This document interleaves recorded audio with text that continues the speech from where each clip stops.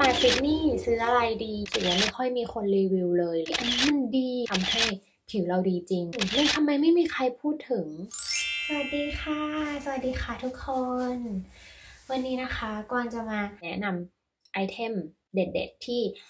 มาซิดนีย์แล้วควรจะสอยกลับไปให้ทุกคนชมกันเลยนะคะ ถ้ามาซิดนีย์ซื้ออะไรดีหรือว่าลากวางจะกลับไปเงี้ยค่ะ ชอบถามว่าเออ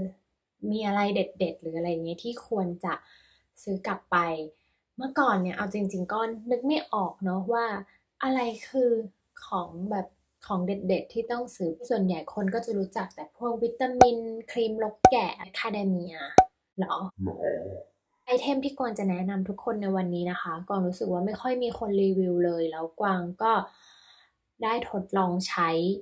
จนรู้สึกว่า เฮ้ย อันนี้มันดี แล้วมันกลายเป็นของที่เราขาดไม่ได้แล้วเราก็ใช้มาเป็นปีแล้วอะเป็นปีๆแล้วแบบเราเพิ่งรู้ว่า เออมันทำให้ผิวเราดีจริง เป็นของดีจริง ๆ ซึ่งไม่ทำไมไม่มีใครพูดถึง หรือพูดถึงน้อยมาก โอเค ตัวแรกตัวแรกกวางบอกเลยว่า อันเนี้ยคนใช้เยอะแล้วคนรู้จักเยอะ คนรีวิวเยอะนะคะ มันคือลูคัสพาพาวออยเมนต์ทำมาจากยางมะละกอและที่ไทยก็มีขาย จะเอามาพูดว่า สรรพคุณของตัวนี้มันไม่ใช่แค่ว่าเป็นเหมือนลิปมันที่ทุกคนใช้กัน ส่วนใหญ่เวลากวางซื้อฝาก คนก็จะวางตั้งไว้ แล้วก็รอที่จะใช้สำหรับทาเป็นลิปมันอย่างเดียว แต่จริงๆ แล้วอะตัวนี้ไม่ใช่นะคะ คือสรรพคุณมันครอบจักรวาลมาก คือตัวนี้เขาบอกเลยว่ามันใช้สำหรับทาน้ำร้อนลวก ไฟไหม้ มีดบาดผิวแห้งผิวคัน โดนยุงกัด โดนแมลงสัตว์กัดต่อย หรือว่าเป็นผื่นได้หมดเลยนะคะ แล้วตัวนี้กวางก็ใช้มาหลายหลอดแล้วก็คือกวางไม่ได้ใช้แค่แบบทาลิปมันนะคะ กวางทาข้อศอกหรือแม้กระทั่งแบบเวลาที่โดนยุงกัดหรือเวลาเราเป็นแผลอย่างเงี้ยค่ะ ก็โปะเข้าไปเลย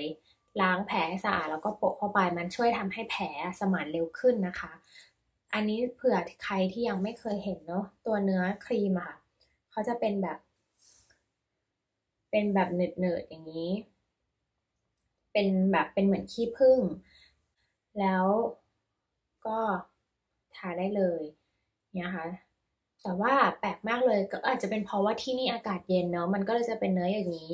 เวลากวางกลับไทยไปเนี่ยไปไปหยิบใช้ของที่บ้านที่ซื้อกลับไปเนี่ย มันเหลวเป็นน้ำเลยอะเพราะฉะนั้นกวางว่าใส่แช่ไว้ในตู้เย็นนะคะ น่าจะแบบคงสรรพคุณไว้ได้ดีกว่า อย่างอันเนี้ยมันหน้าหนาวใช่ไหมกวางก็ทาทาแบบว่าได้หมดเลยแล้วก็มันก็แบบว่าจะหนึบหนึบแป๊บหนึ่ง ตัวต่อไปเป็นไอเทมเด็ดมาก มันคือ Thursday Plantation Tea Tree Oil ตึง ตัวนี้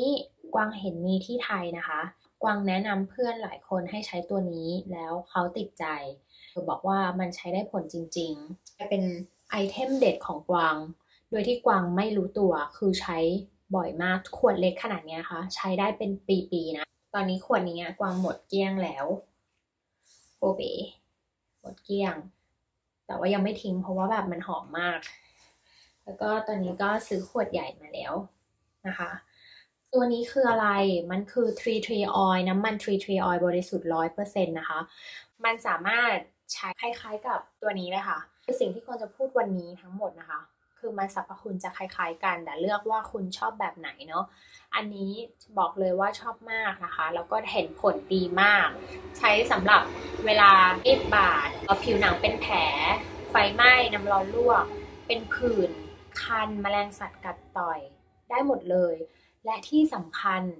มันบอกเลยนะคะว่าใช้สำหรับเวลามีพิมเพิลได้ด้วย ซึ่งอันเนี้ยคือมันอึ้งมาก บอกเลยว่า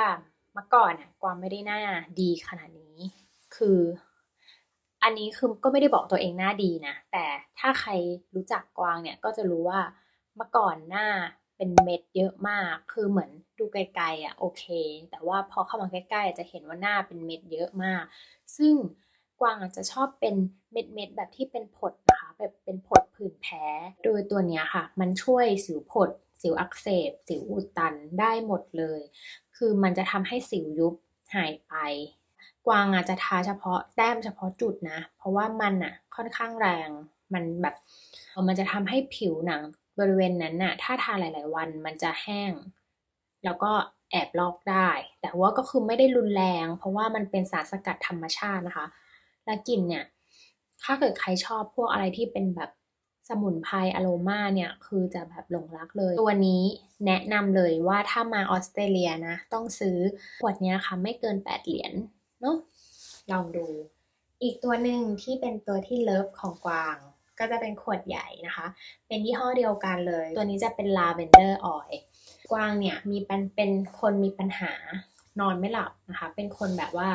เออคิดเยอะเครียดง่าย มีอะไรนิดอะไรหน่อยก็จะแบบนอนไม่หลับแล้ว หรือว่าแค่กินชาตอนบ่ายก็จะนอนไม่หลับแล้ว มีใครเป็นอย่างนี้บ้างไหม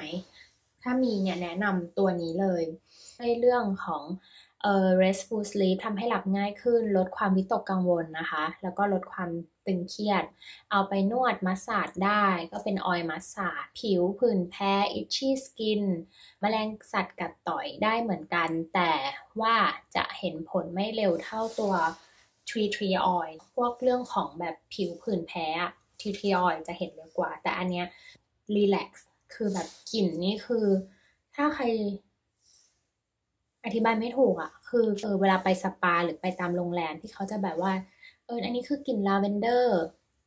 ก็คือคิดว่าอย่างนั้นคือกลิ่นลาเวนเดอร์ แต่พอมาได้ดมอันเนี้ย มันคือแบบสุดยอดของลาเวนเดอร์ มันเป็นลาเวนเดอร์เข้มข้นร้อยเปอร์เซ็นต์นะคะ เพราะฉะนั้นแบบว่ากลิ่นมันจะแบบว่าหอมชัดเจนแล้วฟังว่ามันช่วยจริง ๆ ช่วยให้ผ่อนคลาย เพราะฉะนั้นเวลาอันเนี้ยกวางอะก็จะวางไว้ที่หัวเตียง แล้วก็ก่อนนอนนะคะ กวางก็จะหยด มันจะเป็นหัวอย่างนี้ใช่ไหมคะผมก็จะทำอย่างนี้ แล้วก็ เอ่อทาตรงขมับทาแบบใต้จมูก แล้วก็ทาแบบตามจุดชีพจรนะคะ ต่างๆ ทาทั่วเลยทาแบบข้อพับแบบหยดอะไรเงี้ยค่ะ แล้วแบบ คือแค่ได้กลิ่นก็รีแลกแล้วอะคือมันดีมาก ตัวนี้แนะนำว่าต้องซื้อเหมือนกัน คือดีมากแต่หยอกไว้ในเบอร์เนอร์ก็ได้นะคะ แล้วก็ให้มันเป็นเหมือนกลิ่นอโรมาในห้อง ตัวนี้กวางพกขึ้นเครื่องบินด้วยนะคะ เพราะว่ามันแค่ 50 ml ก็เวลาขึ้นเครื่องบินใครเป็นบ้างที่แบบว่า เออนอนไม่หลับทางที่ง่วงมาก แต่นอนไม่หลับกวางก็เออดมเนี่ยเหยาะที่ปลอกหมอนก็ได้นะคะ หรือว่าเหยาะที่ตรงเสื้อเนี่ยค่ะ แล้วก็ดมนี่เลย lavender oil แนะนำ ตัวสุดท้ายของวันนี้เป็น eucalyptus oil ตัว eucalyptus oil เนี่ยก็คือเป็นของที่ควรจะมีติดบ้านเหมือนกันนะคะหนึ่งคือใช้สำหรับทำความสะอาดได้ เราเอาน้ำมาถังหนึ่งแล้วก็หยดลงไปในน้ำใช้ ถูพื้นเช็ดตู้เช็ดอะไรเงี้ย คือเขามีคุณสมบัติในการฆ่าเชื้อโรคนะคะ มันเป็น pure ร้อยเปอร์เซ็นต์เพราะฉะนั้นเนี่ยไม่ต้องใช้เยอะทำความสะอาดใช้ถูพื้นซักผ้าก็ได้นะคะ คือมันเป็นตัวนี้ค่ะมันจะฆ่าเชื้อโรคใช้สำหรับบาดแผลร่างกายได้เหมือนกัน เวลาเป็นหวัดนะคะ ก็ให้หยดในน้ำร้อนก็คือเอาน้ำร้อนใส่แก้ว แล้วก็หยดลงไป แล้วก็ให้สูด เอาไอระเหยตัวนี้เข้าไปมันจะทำให้รู้สึกโล่งจมูกโล่งคอนะคะ ใช้สำหรับมัสซาจคลายแก้ปวดนะคะ อันนี้ก็ใกล้หมดละคืออันนี้ส่วนใหญ่กวางอาจจะใช้สำหรับในการฆ่าเชื้อโรคนะคะ เชื่อไหมว่าตอนช่วงแบบโควิด -19 นะคือแอลกอฮอล์อะไรเงี้ย ขายหมดเกลี้ยงใช่ปะเชื่อป่าว่าคนออซซี่ซื้ออะไรกัน คนออซซี่ซื้อยูคาลิปตัสออยนะคะ เพราะว่าเขาได้รับ การยืนยันว่ามันสามารถฆ่าเชื้อโรคได้เนาะแบบหมายถึงว่าฆ่าเชื้อโรคแบบพื้นฐาน คือคนหาซื้อแอลกอฮอล์ไม่ได้ก็เลยแบบคว้ายูคาลิปตัสออกจะบอกว่าตัวนี้ก็เป็นอีกตัวหนึ่งที่ควรจะมีติดบ้าน เป็นสิ่งหนึ่งที่เเวลากวางกับไทยแล้วก็มีคนที่เคยใช้ก็ฝากซื้อบ่อยนะคะ เพราะฉะนั้นก็เลยวันนี้ก็เลยมาแนะนำออของเด็ดที่บอกว่า โอเค ถ้าใครมาออสเตรเลียเนี่ย อย่าลืมแวะดูเนาะ มันเป็นอะไรที่น่าซื้อ น่าลองมาก วันนี้ขอจบการรีวิวแต่เพียงเท่านี้นะคะ ขอลาไปก่อนนะ ขอบคุณมากค่ะที่ติดตาม สวัสดีค่ะ